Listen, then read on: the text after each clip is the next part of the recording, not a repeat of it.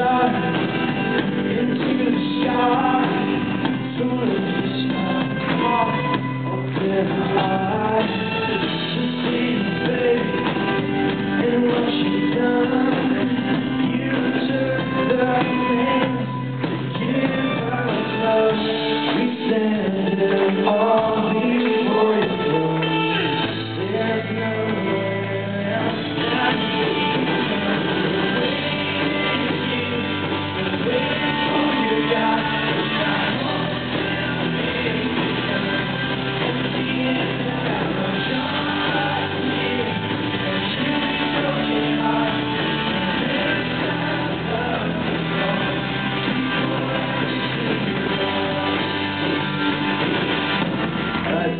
on the count of three.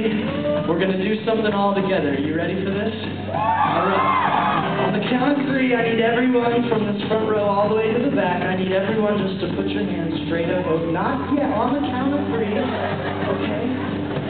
And here's the deal, because first things first. I don't know if you notice, but when you do this, it feels kind of awkward. Impossible for me to look cool anymore. And if I try, it just makes it more awkward. Like, what's up? Hey, how's it going? And I don't know if you know this, but tonight is not about us feeling awesome about ourselves. If you want to be free tonight, it's not going to come from feeling cool or feeling with it or being dressed right. It's going to come from forgetting about yourself altogether. And that is what worship is all about. Amen? So, for some of you, you know, you don't like to do this in worship because you got maybe one of those ladies at your church with a flag and she's like, you know, and you're like, dude, I'm just not that into it. Well, look, maybe this will help you. This is not a position of super spirituality. This is a position of someone who needs God.